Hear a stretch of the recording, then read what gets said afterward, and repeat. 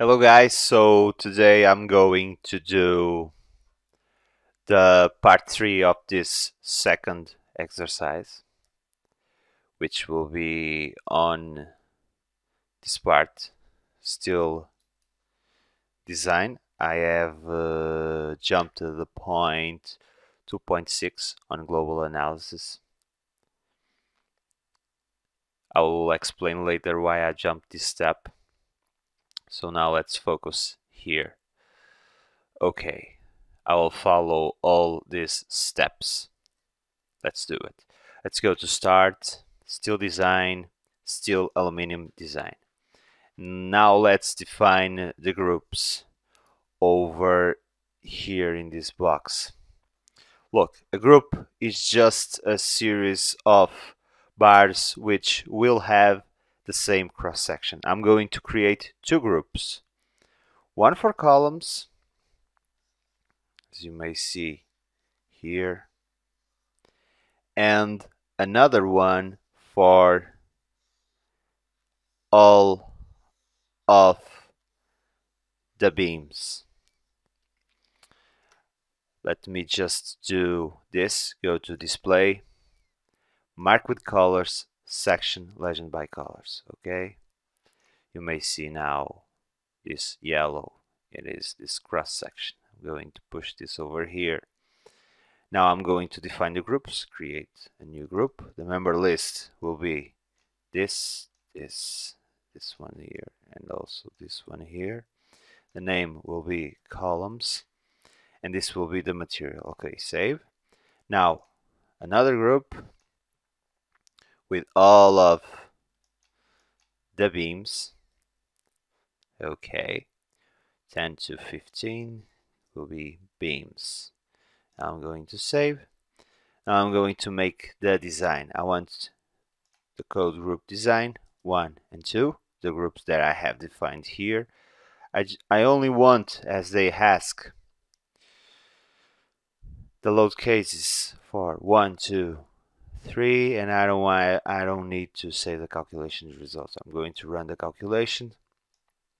Here I have this window, which I'm going to push down here. And here I have my results, as they say, as they claim here. For the group of columns, the best cross section it's uh, a HEA 240 and for the beams it is this one. Notice that I have this one for all the structural elements. I have this one here HEA 300 so if I press this button over here watch what happens. If I if I if I press change all all the cross section are going to change with respect to this cross section which I have over here for this result which is the best one. So now as I have changed the cross section the results are of course as you may see down here out of date because the stiffness of the structure have changed. So now I need to run the calculations once again now I have the results available and I'm going to run the calculation, the steel design once again. And once again, the cross section have changed as you may see here, at least the cross section of the columns. So I'm going to also here change all. Okay. Run the calculations once again. Once again, run the calculations also here another difference cross section. Change all once again. Okay. I'll need to do this until the results are the same. Calculate here. Calculations here. No they are not the same as you may see here. I'm going to change all once again. Run the calculations once again. Run the calculation once again here. No they're not the same. Change all. Yes run the calculations once again.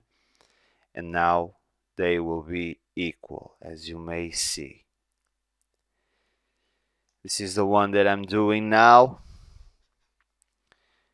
this one is the previous one and they are equal. So now I can stop with this iterative process, let's say.